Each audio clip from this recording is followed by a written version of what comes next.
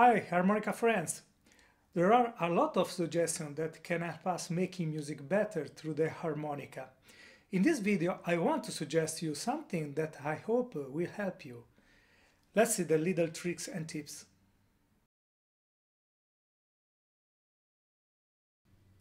The first trick is dedicated to the mouthpiece, a trick that could be useful to some people. It may happen that you have many difficulties slipping the harmonica between your lips. This fact is quite normal, and over time you are going to learn to handle the necessary saliva intake that allow you to keep your lips moist and consequently also the mouthpiece and to slide the harmonica without friction. For many reasons, we could try the unpleasant feeling of dryness that I said before. And this can happen not only due to inexperience, but also to personal characteristics such as poor salivation, as a result redness and the chapping on the lips. It can, it can be helpful to use lubricants, of course for oral use, that spread in very very small quantity on the mouthpiece greatly reduce the problem, even if for a limited time. I recommend the non-tasty but silicone-based lubricants. In the case of silicone allergy, rare, there are also water-based lubricants, but they have a decidedly lower yield compared to silicones. You must not abuse lubricants, since they create a condition that is altered, so use it only in case of a real need, and in any case get used to managing this condition naturally, keeping your lips moist, wetting them with your tongue during musical pauses. There are also less obvious tricks. For example, if we tilt the torso forward, inwards from the oral cavity, the saliva will naturally flow to the outlet of the mouth and then come in contact with the mouthpiece and then spread out along the instrument when it is moved during our execution.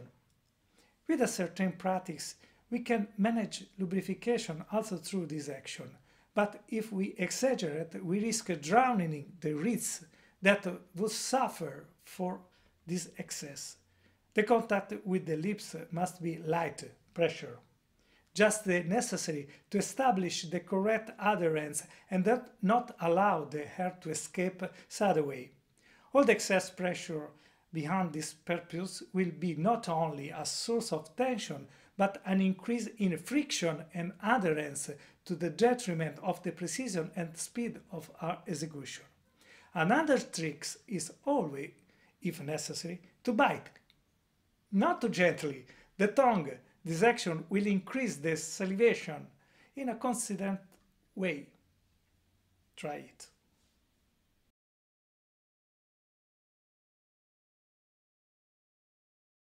I would now like to talk to you about the position of the body. In general, it is common to see the shoulder raised in aspiration by many harmonicists.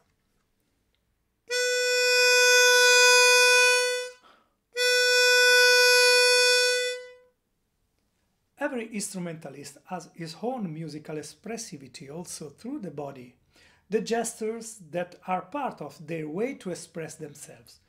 But we must distinguish the musical gesture and the wrong assimilation of the movement. In practice, the not knowing how to do otherwise. Let us first get used to playing without further engaging our body with gestures that are not strictly necessary. So we will take advantage of it by channeling our energies. Once we have acquired a correct instrument gesture, we can express that motion that best translate our inner musicality.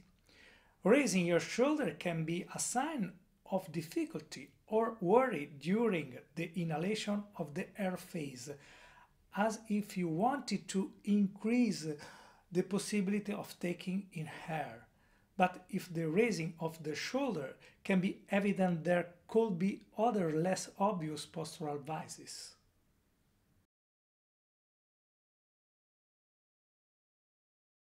They often ask me if it's better to play sitting or standing. I see advantages and disadvantages in both situations. The sitting position is less dynamic and is likely to close and compress the diaphragm, but allow us to get tired less in the case of a prolonged study. Standing with the passing of the hours, we risk to compensate the tiredness with the wrong positions. For example, distributing the weight or propping the weight on a single leg. Unbalancing the body while we should always be able to distribute the weight in a balanced way. I would suggest alternating the study by sitting and standing and getting used to dealing with such situations. We will have to play looking theoretically to 3-4 meters to the floor in front of us.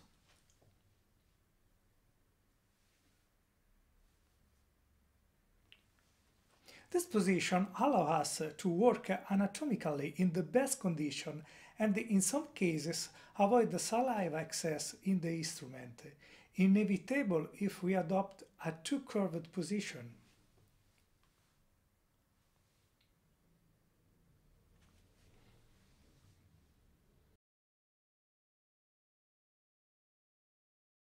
Instinctively, we try to put elbow in thigh to create a support and a special reference to move the instrument sideways. This position is particularly compromising for the development of the instrumental technique, greatly reducing our mobility and agility and forcing us to involve the head instead of moving the arms and the instrument to reach the nose.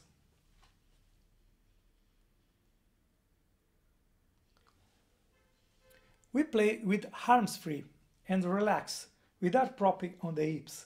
The instrumental technique precision we reach it with the exercise, memorizing the movement performed by our arms without constraints and impediments.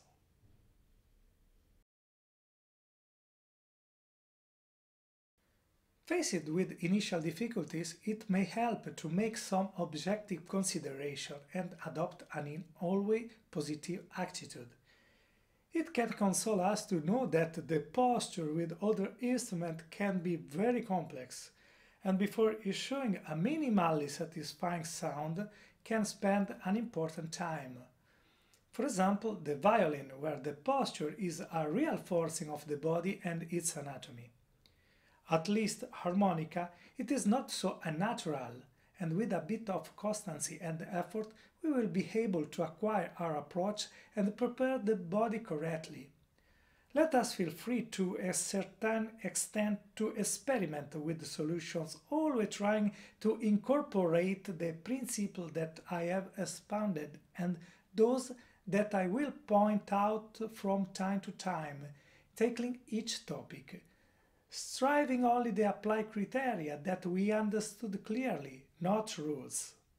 In a short time, probably, you will find yourself adopting, in most cases, the solutions indicated here.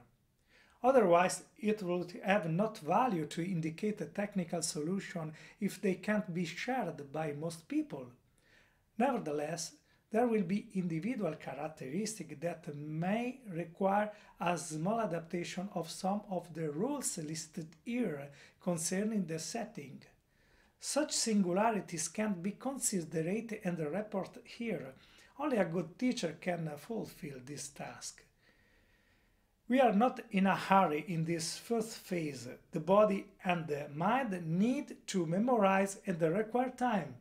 During the study, we stop frequently to avoid stiffening the muscle and creating tension that would reflect on the body and in particularly negative way on the mouth embouchure.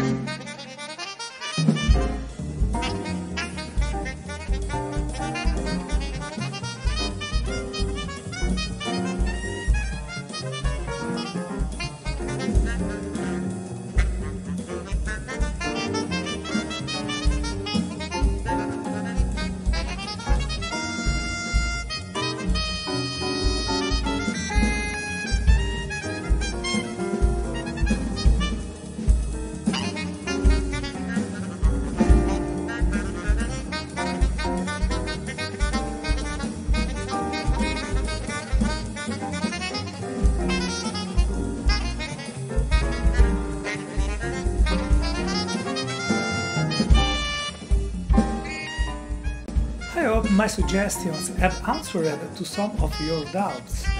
We try to be constant in our study, better a little but every day. Finally, and it is the most important thing, we never forget to have fun and to feel our harmonica like a friend and rejoice in studying and making music always. For the moment that's all with this tutorial. Have a good music with your harmonica. Ciao!